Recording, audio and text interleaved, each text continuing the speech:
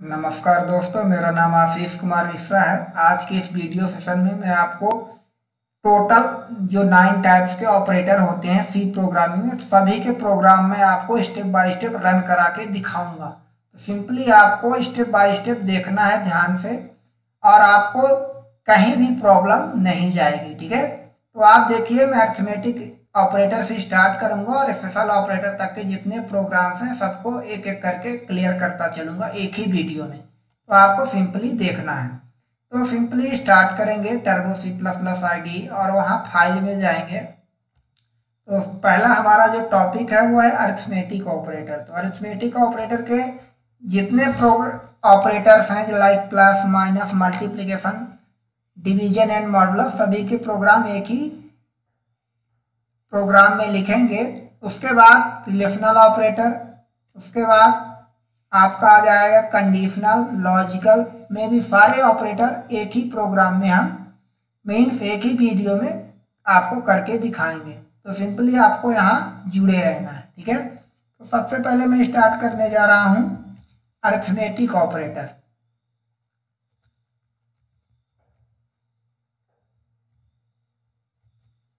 तो ये सिंपली आप हेडर फ़ाइल लगाएँगे, जो मैंडेटरी होती हैं, ये कोनियो हेडर फ़ाइल आपकी जो है, ये ऑप्शनल है।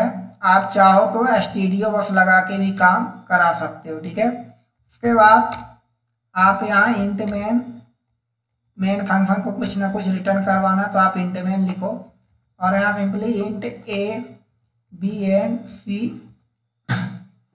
अगर आपको अलग अलग ऐड कराना है तो यहाँ सिंपली आप नंबर दे सकते हो ए की वैल्यू ट्वेल्व बी की value three then C equal to A plus B then आप यहाँ प्रिंट करा सकते हो प्रिंट एफ़ फ़ंक्शन के थ्रू प्रिंट एफ़ यहाँ ऐड कर रहे हैं तो यहाँ मैसेज में हम एडिशन डाल सकते हैं। अगर आप कुछ भी डालो एडिशन की जगह अपना नाम भी डालो, कोई फ़र्क पड़ने वाला नहीं है। लेकिन अगर आपको वैल्यू देखना है सी की तो यहाँ परसेंट डी लगाना मैंडेटरी हो जाता है, क्योंकि आप इंटीजर टाइप पर डिक्लेयर किए हैं, ठीक है? उसके बाद ए और बी की वैल्यू कहाँ जा रही है? सी में। तो यहाँ सिंपली हम सी लिख देंगे। देन उसके बाद फ़ंक्शन को क्लोज करेंगे। उसके बाद हम नया इसी में कर दे रहे हैं सब्ट्रैक्शन तो ए माइनस बी जैसे यहाँ प्रिंट कराएँगे प्रिंट एफ़ सब्ट्रैक्शन तो यहाँ सब्ट्रैक्ट बस हम लिखे दे रहे हैं, उसके बाद आपको सिंपली परसेंट डी लिख देना है। देन उसके बाद सी क्योंकि ए माइनस बी की वैल्यू कहाँ असाइन हो रही है? सी में। उसके बाद C equal to A multiply B यहाँ भी आप सिंपली नीचे प्रिंट अप कर दोगे तो यहाँ आ जाएगा मल्टी मल्टीप्लीकेशन तो मल्टीप्लाई सिंपली हम लिख दे रहे हैं, बहुत ज़्यादा हो जाएगा percent D double quote C then उसके बाद आपको simply C equal to A divided by B then printf division equal to percent D then C के बाद आपको सिंपली मॉडुलस परफॉर्म कराना A modulus B then printf modulus equal to percent D then C के बाद आपको simply क्या करना है? Get C H get C H then उसके बाद रिटर्न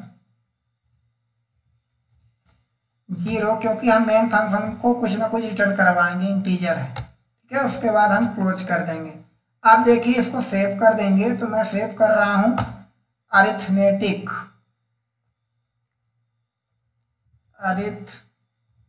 अरिथमेटिक डॉट सी क्योंकि ये अर्थमेटिक ऑपरेटर के प्रोग्राम है, सारे सिंबल्स तो अर्थमेटिक डॉट सी उसके बाद कंपाइल करेंगे अल्ट नाइन से तो ज़ीरो एरर है, और रन करेंगे तो ये आउटपुट आपको देखने को मिल रहा है। एडिशन फिफ्टीन है सब्ट्रैक्शन नाइन है मल्टीप्लाई थर्टी सिक्स है डिवीज़न फोर है मॉडुलस ज़ीरो है। मतलब सेफ़ पर कुछ भी नहीं बच रहा, ठीक है?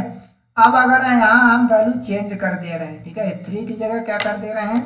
फाइव और हमको पुराना आउटपुट नहीं देखना है तो यहाँ आप सिंपली क्या लगा दोगे? C L R F C R function ये पुराने आउटपुट को क्या करेगा? क्लियर कर देगा।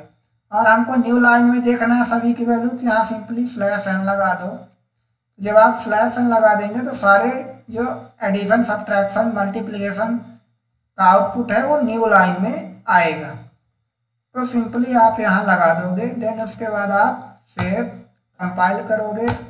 नो एरर एंड रन करोगे तो ये आउटपुट आ गया। एडिशन सेवनटीन आया सब्ट्रैक्शन सेवन आया मल्टीप्लाई सिक्सटी आया डिवीज़न टू आया मॉडुलस टू आया। तो आप कुछ स्टूडेंटों का ये रहेगा, ये आउटपुट पॉइंट में क्यों नहीं आया? पॉइंट में इसीलिए नहीं आया, क्योंकि यहाँ इंट डेटा टाइप लिए हो, ठीक है? तो अगर इंटीजर रहेगा तो टोटल आपको इंटीजर वैल्यू ही मिलेंगी। फ्लोट वैल्यू मीन्स पॉइंट वाली वैल्यू नहीं मिलेंगी, ठीक है? तो ये था आपका अरिथमेटिक ऑपरेटर का प्रोग्राम अब देखिए, मैं अगला जो प्रोग्राम बनाने जा रहा हूँ रिलेशनल ऑपरेटर का, ठीक है? तो सिंपली न्यू में क्लिक किए, अब रिलेशनल ऑपरेटर के प्रोग्राम हम देख लेते हैं। तो यहाँ आप सिंपली वही चीज़ लिखोगे hash include S T D I O dot H then hash include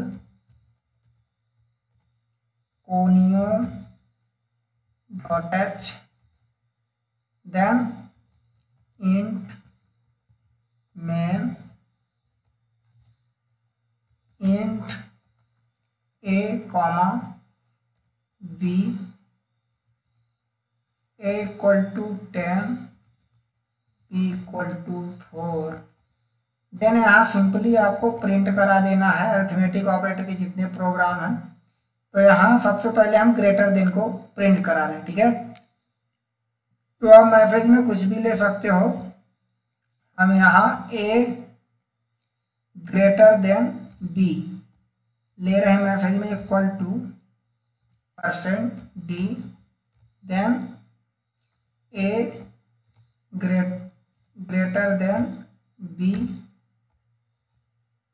उसके बाद हम नेक्स्ट प्रिंट अप करवाएँगे। या तो आप इसी को कॉपी कर दो। कॉपी के लिए यहाँ आप शॉर्टकट की हम बताए दे रहे हैं। कॉपी के लिए जो शॉर्टकट की है कंट्रोल और इंसर्ट है, और पेस्ट के लिए क्या है शिफ्ट इंसर्ट ठीक है? तो आप इसको पहले सेलेक्ट करोगे। तो कॉपी के लिए क्या है? कंट्रोल और इंसर्ट एंड पेस्ट के लिए क्या है? शिफ्ट और इंसर्ट तो आप जितने लाइन में पेस्ट करोगे, उतने लाइन में ये पेस्ट होता जाएगा। ठीक है? तो सिंपली आपको सारे रिलेशनल ऑपरेटर के program line by line paste कर देना तो मैं बिगिनर्स के लिए यही कहूँगा कि आप टाइप करिए।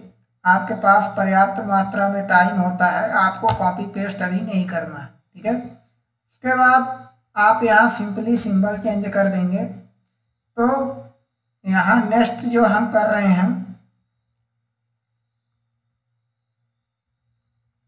ये ग्रेटर देन इक्वल टू का प्रोग्राम बनाएँगे तो यहाँ इक्वल टू लगा देंगे, ठीक है? और यहाँ भी हम क्या करेंगे? इक्वल टू लगा देंगे। अब इसको लेस देन बना देंगे। देन इसको भी हम क्या कर देंगे? लेस देन कर देंगे। उसके बाद इसको भी क्या कर देंगे?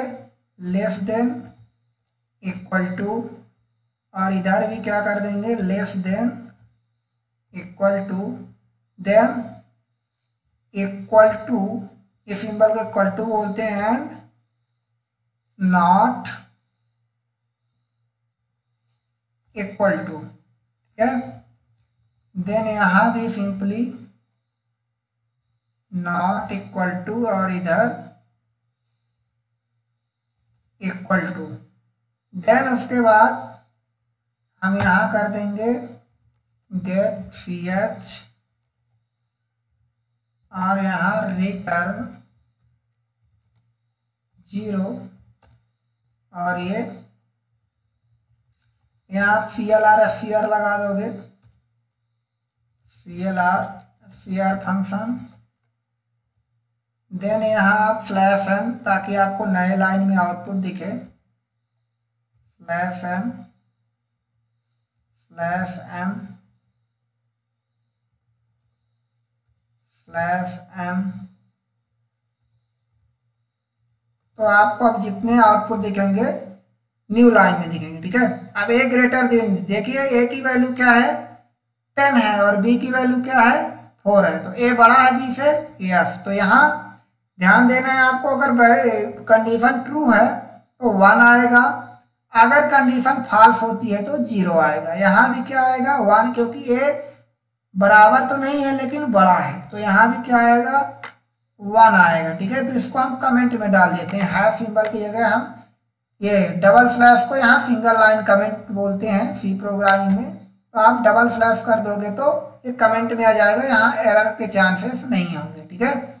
उसके बाद ए छोटा है बी से नहीं है तो कंडीशन क्या है? फॉल्स है। तो यहाँ क्या आएगा? ज़ीरो यहाँ क्या आएगा? ए छोटा है, बराबर है। बी के ना छोटा है, ना बराबर है। तो यहाँ भी क्या आएगा? ज़ीरो। अब देखे, ए बराबर है बी के, यहाँ भी नहीं है। तो यहाँ क्या आएगा? ज़ीरो। और A not equal to B. तो यहाँ क्या आएगा? वन। क्यों? क्योंकि ए, बी के इक्वल नहीं है। तो आप सिंपली इसको आप सेव करोगे। तो सेव आप रिलेशनल से कर दोगे। आप कुछ भी नाम दे सकते हो। मैं यहाँ रिलेशनल ऑपरेटर के सारे प्रोग्राम, सारे सिंबल यूज़ किए हैं हम। तो वहाँ हम रिलेशनल डॉट सी सी का प्रोग्राम इसलिए डॉट सी एक्सटेंशन दे दिए देन ये आप कंपाइल करेंगे तो ज़ीरो एरर है, और रन करेंगे तो ये आउटपुट आ गया। देखिए, जैसे हम आपको दिखाए थे, पहले वाले में वन आ रहा है, दूसरे वाले में वन तीसरे वाले में ज़ीरो चौथे वाले में ज़ीरो पाँचवें वाले में ज़ीरो नेक्स्ट वन तो ये था टोटल रिलेशनल ऑपरेटर के प्रोग्राम एक बार और अगर आपको आउटपुट देखना है तो देख लीजिए। तो ये आउटपुट आ गया है, ठीक है? तो ये था रिलेशनल ऑपरेटर का प्रोग्राम अब ऐसे ही आपको आगे बताए जाएँगे लॉजिकल के प्रोग्राम कंडीशनल ऑपरेटर के प्रोग्राम एंड जितने और रिमेनिंग ऑपरेटर हैं सभी के प्रोग्राम तो अभी इस सेशन में हम बता रहे हैं, क्योंकि वीडियो बहुत लंबा हो जाएगा अरिथमेटिक एंड रिलेशनल ऑपरेटर के प्रोग्राम तो आज के इस वीडियो में इतना ही। आगे के लेक्चर में कंटिन्यू करूँगा। धन्यवाद।